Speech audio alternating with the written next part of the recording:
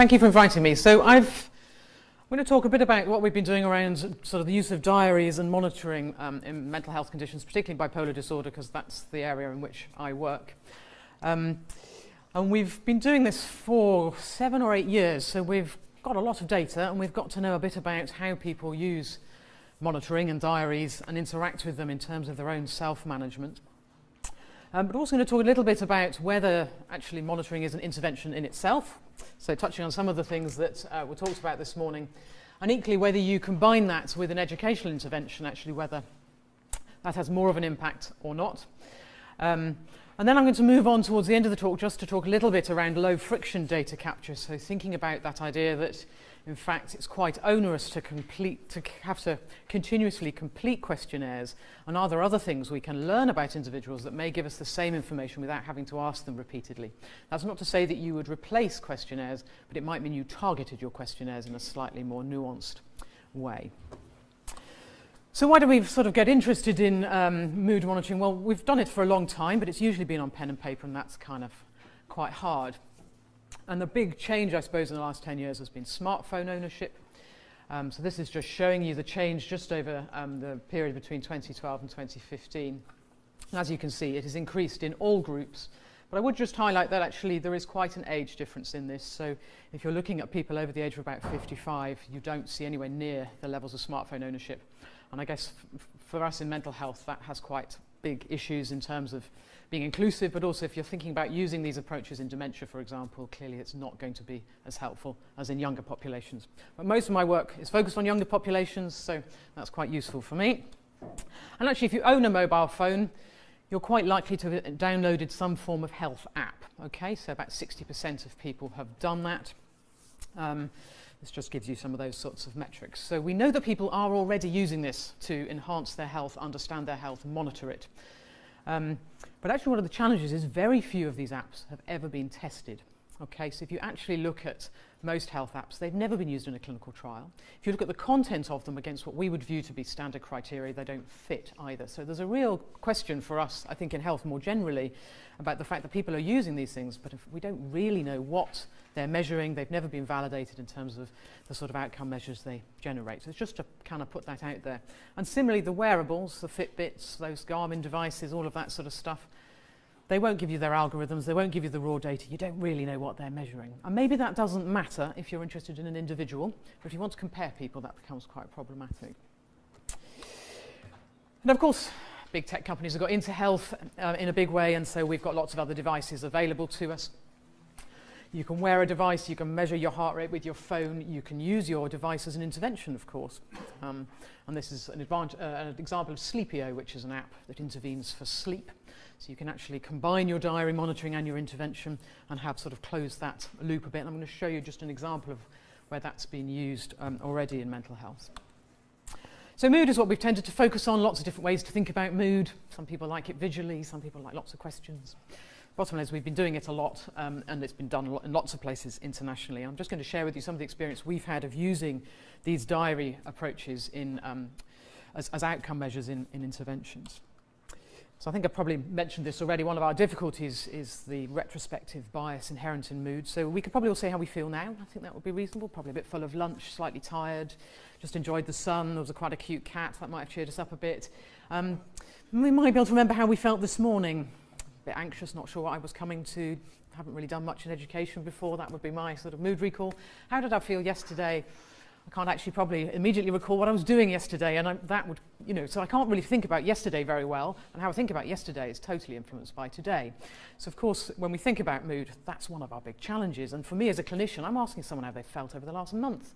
Well, they're not, I mean, poor things, I can't tell them how I felt over the last month, so it's unlikely that a patient is going to remember. So actually, being able to get people to measure these things prospectively is really, really very helpful. So it's much more accurate picture of what's going on.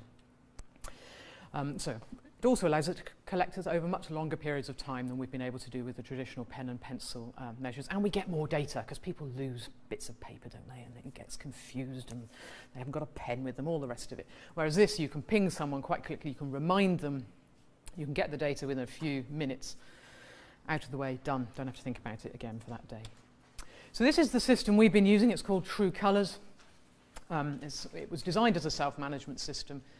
People get sent a reminder, they fill in their prompts, and um, that's all they have to do. Very simple. So you, most people get two questionnaires, but you can add personalized questions. In this example, because I'm going to talk about bipolar patients mostly, we ask them about depression and mania. Then their scores get logged on a graph and they can look at them. Okay?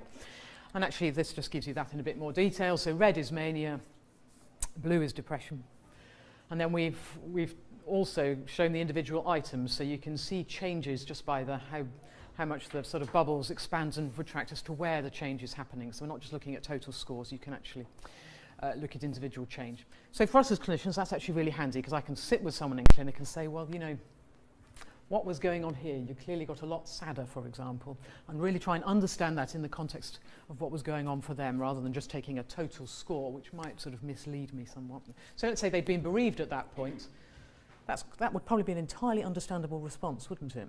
Whereas if I'd looked at that total score and said they're depressed, I could have had a, a very different um, interpretation.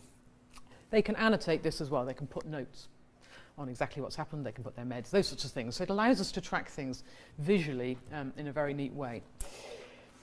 And what's that's done, it's allowed us to do lots of fancy maths, which I'm not going to talk about because I'm not a mathematician, um, in terms of understanding mood disorder. Okay, so traditionally we've thought of bipolar disorder in this way, having periods of depression, periods of mania, all very neat and packaged, and periods of wellness. That ain't the reality at all. It is far more variable, okay? It's actually people bounce around all over the place. And it's, it's likely that mood instability is, is much more problematic than this stuff. Very few people fit this pattern. And it's not really surprising, is it? Because most of us vary a bit, okay? But actually, in, in, bipolar disorder, their mood variability is much, much higher. And it's that that's associated with poorer outcomes, with poorer treatment response. If, you have, if you're very unstable in mood, as a teenager, for example, you're at higher risk of getting bipolar disorder. So just by monitoring people over a long period of time, we've been able to understand the disorder and challenge our preconceptions about the diagnosis. It's been really interesting in that respect. Now, of course, this is just showing you some of the sorts of data we can collect. Here I'm showing you some comparisons between weekly and daily ratings, and I think there was a bit of, was raised a bit this morning on how often do you ask? Because that's actually quite important, isn't it? The frequency of inquiry. And so we thought we'd actually explore this. So what I'm showing you here is people who've completed those weekly ratings. So there's bipolar. We'd have another group called people with borderline personality disorder and a healthy group, okay? This is weekly ratings, and I hope what's obvious is our two clinical groups um, have, are, have more symptoms, okay? That's not a surprise, is it? They're, they're clinical groups than our healthy groups. And even if you do that on a daily basis, you've still got a bit of a difference, but it's not so striking because actually our healthy people have daily change as well. Um, and if we look at instability, because that's what we're really interested in, we start to see these are medians, they are quite statistically significantly different, although the graph doesn't show it very well. But actually, people with bipolar disorder and borderline personality disorder are far more um, unstable than our healthy groups. Here's a much better example. So you can see that really neatly, okay? Because we didn't know what healthy people were like. We just assumed they didn't have mood instability. No one had ever measured that before. Um, so we can do quite a lot with just even understanding how we can distinguish diagnoses, just with very simple, these are not difficult kind of things to ask people, it takes them a few minutes to complete. And clearly we can then say, well, it, we can identify new treatment targets. So we've completed these diaries over, we've probably got seven or eight years of data on some of these guys now. Um, and you can then say, well, should we be thinking about how our treatments work in a different way and using the self-report measures to um, analyze that? So that's exactly um, what we've done. So this is, um, don't worry about the detail of this, but these are, this is a randomized controlled trial, so I'm afraid it falls into all of the problems that were talked about in the lecture before lunch. Insofar as we've taken a group we've tried to make look as similar as possible. Um, and compared their outcome, their, some of them pre and post treatment. But this is, I think, the first RCT in this area that's been done entirely on self-report data, okay? It isn't me as a clinician telling, saying, oh, this patient's well, this patient's ill. This is actually the patient reporting it. And I think that's kind of important. And what we find is actually on self-report, our treatment group, um, which is our red line here, okay, did better than our people on placebo. So that's just self-report, that is the patient's experience, not me, not me giving them computer games to play or being very objective or anything. Because in the end, it's what the patient experiences that's important.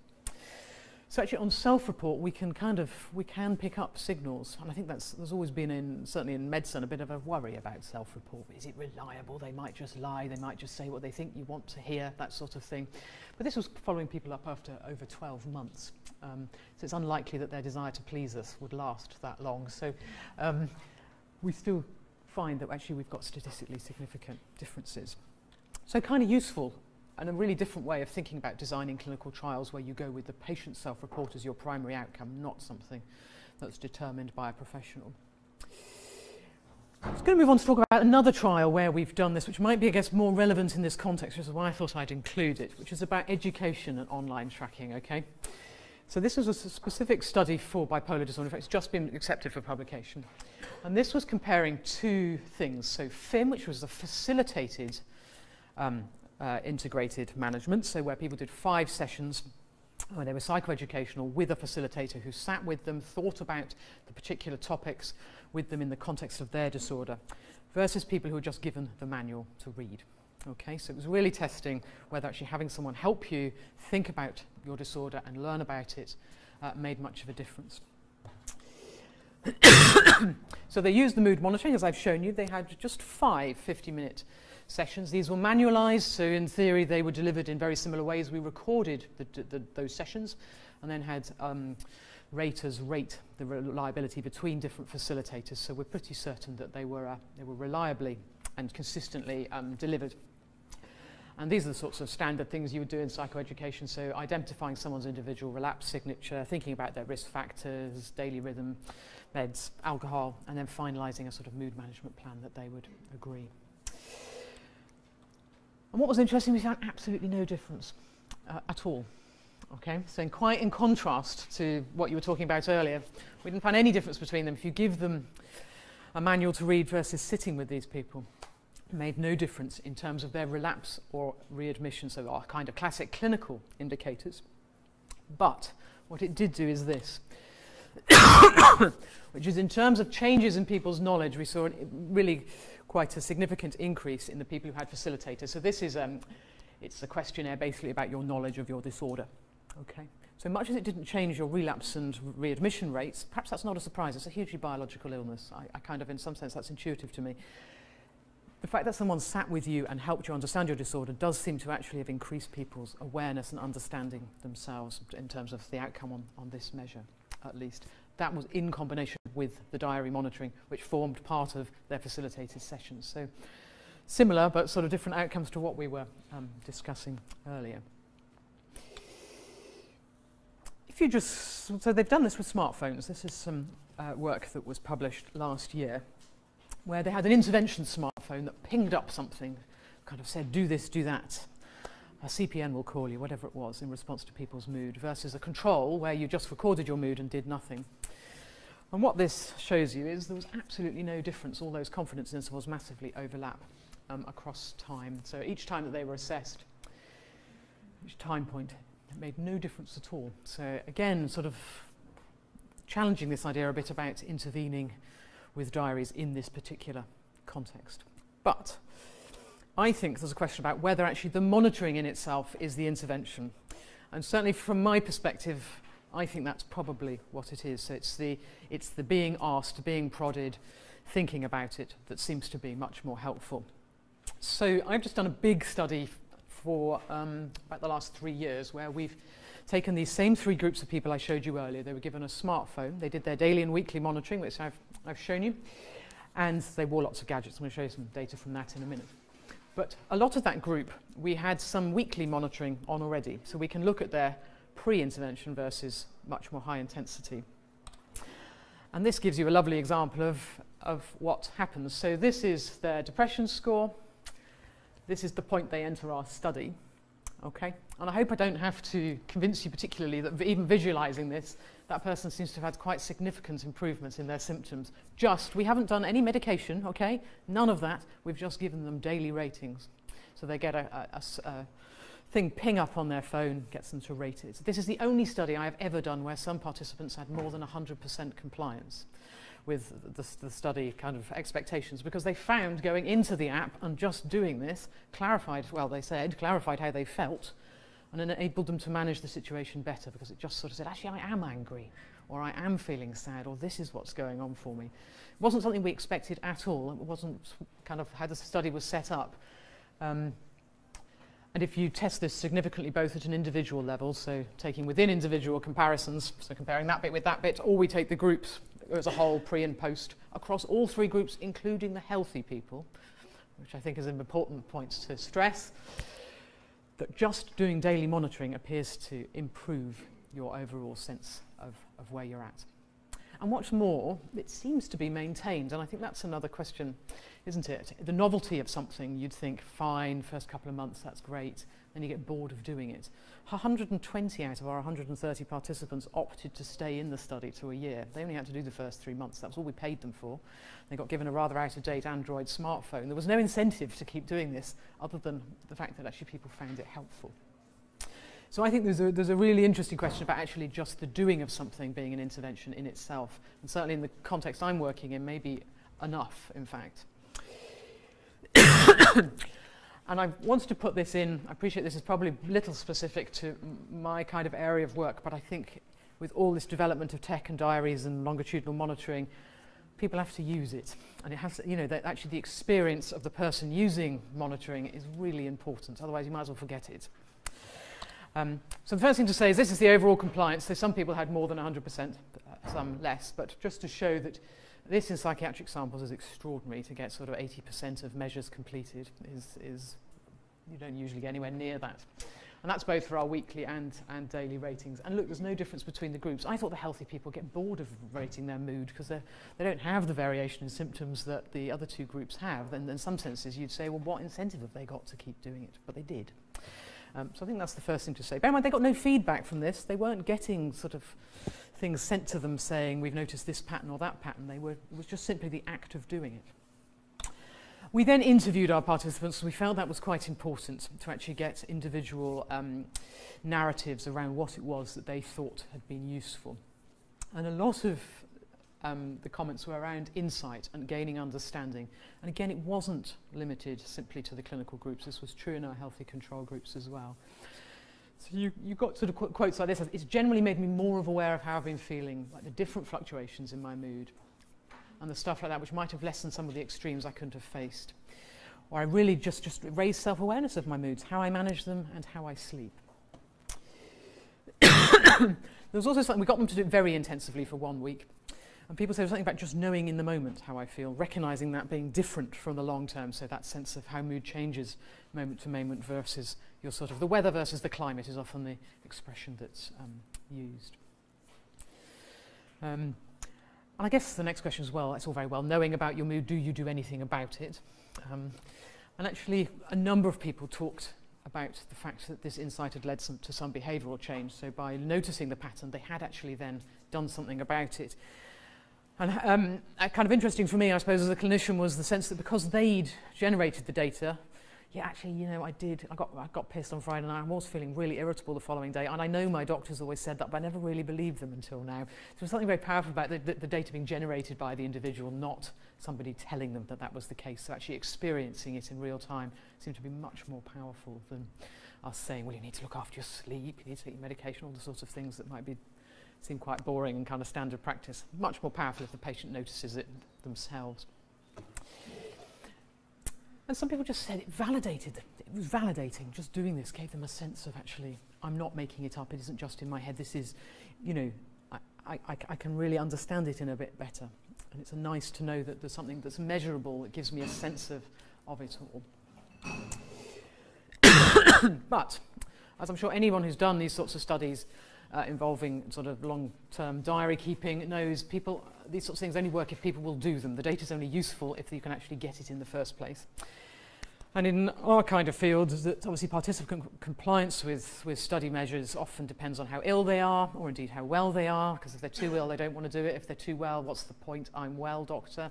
And it can be quite irritating having to keep repeatedly answering the same questions whatever it is. You know, I think I'm sure we've all had that experience when we're asked for feedback on products on Amazon or whatever. You just oh, shut up, I don't want to be doing with it. So, um, you know, there's all those factors that come into into compliance.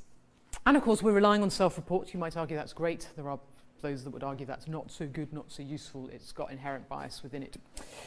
And of course, you've got to know what questions to ask, and I think that's a real challenge, knowing what the questions are to ask, actually. Um, getting it right, getting what's sensitive for that individual, and you know, each individual will be very different. So on our system, we do allow people to personalise their questions on top of the um, kind of more standard things we ask. But I think when, when you, anything becomes sort of more digitized, of course, you're, the limits, you're much more limited, aren't you, to close questions, yes, no, things with simple answers. Um, and I think that can sometimes be challenging. So we've had an interest in are there other, what we would call low friction or passive data measures that might be of interest. I'm going to just share with you one um, data stream that has been surprisingly informative. I have to say we didn't expect it to be. Um, before I do that, just to say, of course, your device collects more than just your mood or your emails. It does all of this. This is all the sorts of data that you can pick up from people, okay, um, pretty passively. Um, so you can look at their phone activity. People have done that in bipolar disorder. You can look at their location. That's what I'm going to talk about.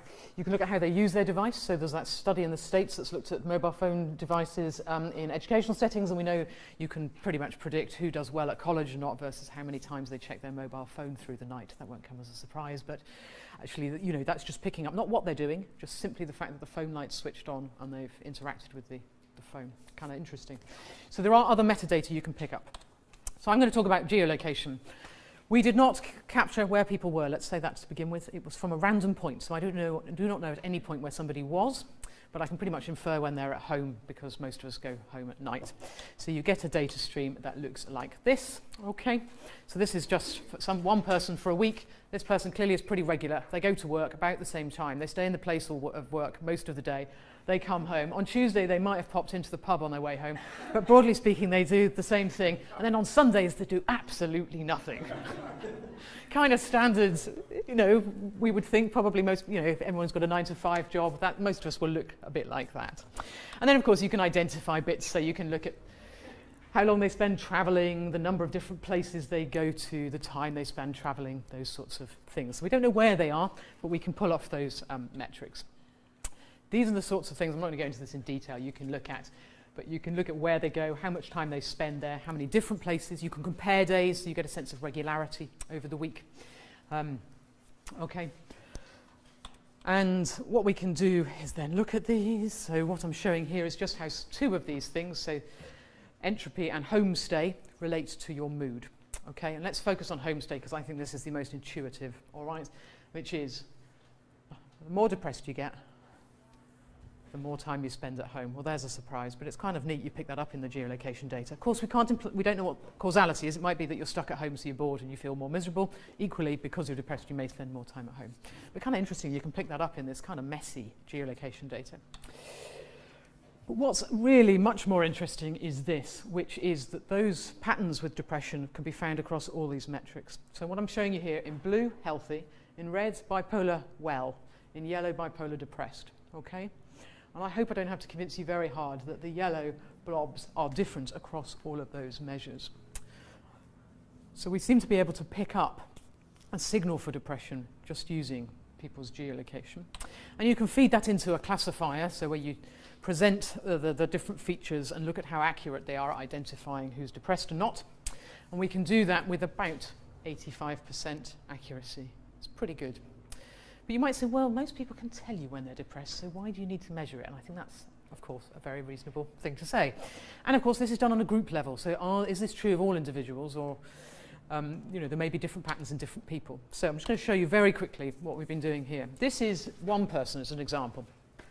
These are these different metrics of your geolocation, homestay, diurnal variation, location variance, that sort of thing. Here's your mood.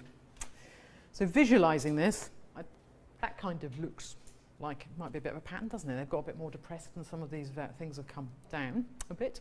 But it's quite messy data, so we tend to apply a filter. And we've chosen a filter that only that means that you can only use data you already know about, so you don't use data from the future. All right? Because if you use a window, if you're looking at point X, you're using um, information that has come after that point. Okay, does that make sense? So, and you can't look into the future. So that's false in terms of the use, utility of this in a clinical situation. I can see people frowning. So if I was looking at this point here, let's go back one actually, that's the easiest way of doing it. If I was looking at this point here, and we filter it, we apply a window, okay, At this point here, you'll take information from in front and before. Okay, but in reality, you never know what the in front, the, the, the future holds. So you can, we've limited it only using the data that's come before that point. Okay. So if we say offline, which is where we take these features and we say, can we predict their depression score? So you remove one point and you use your other data to predict that point. Okay. We can predict, this is the red line, very nicely, someone's depression score. But again, we fall into that same problem. We, can't, we don't know the future. Okay, so we can do that offline, that's lovely with a nice data set like we've got. But if you wanted to use this in reality, you're going to have to do it online. And what's really interesting is we can do it online. I was really surprised by this. So we're rubbish to begin with. That's not a surprise. We haven't got enough data. But actually, as we get to know this individual, we can start to do pretty well at predicting what their score will be next week. Just simply from where they've been or where their mobile phone has been, actually, because of course we can't necessarily know that it's them using their phone, but we, most people do carry them with them. And that's without having to ask them anything. And I think this is really exciting because if you started to notice these changes, you could ping a message to someone, couldn't you? And just say, things all right? Get them to fill in a mood rating. So you could be much more sensitive about when you asked people and how you understood their patterns of behaviour. And you could start to learn, um, or the patient could start to learn about how their patterns evolve. Just to say, we have done this for almost all our individual people now, okay? And we can do it pretty well for most at an individual level. We're not using the same metrics for each person, so people will have a, you know, we learn about which metrics work best for them um, because they will be different from different individuals. So, I think that was all I was going to say, but really just to emphasize, obviously smartphones are widely available. The fact that we now have mobile phone coverage pretty much everywhere means you can submit data very easily. I think wearables do offer alternative data streams. We've done a lot of work with Fitbits and actigraphy, which I'm happy to talk about if people are interested. And it's quite an efficient way of collecting data and delivering it actually as well. From our perspective, it's really enhanced our understanding of psychiatric phenotypes, so what these things are like. It can enhance practice because it can make us better at our diagnoses, better at measuring treatment response in a much more nuanced way, and of course general well-being. I think really importantly, it seems to enhance people's understanding of their own patterns um, in a much more powerful way than delivering a psychoeducation tool appears to be. Um, it's highlighted new um, treatment targets, and I think these sort of within participant analyses, like I've just shown you for those individuals, are likely to be the most powerful going forward, that you learn about the individual rather than just the group effects. So I should acknowledge these sorts of studies involve huge numbers of people, um, and it's been mostly funded by the Wellcome Trust. Um, But we're very grateful to the IBME and clever mathematicians because some of the clever maths is well beyond me. Uh, so I do just need to really acknowledge uh, their input. And of course, our participants who've been fantastic and very motivated actually to get interested and involved um, in it all. Great, thank you.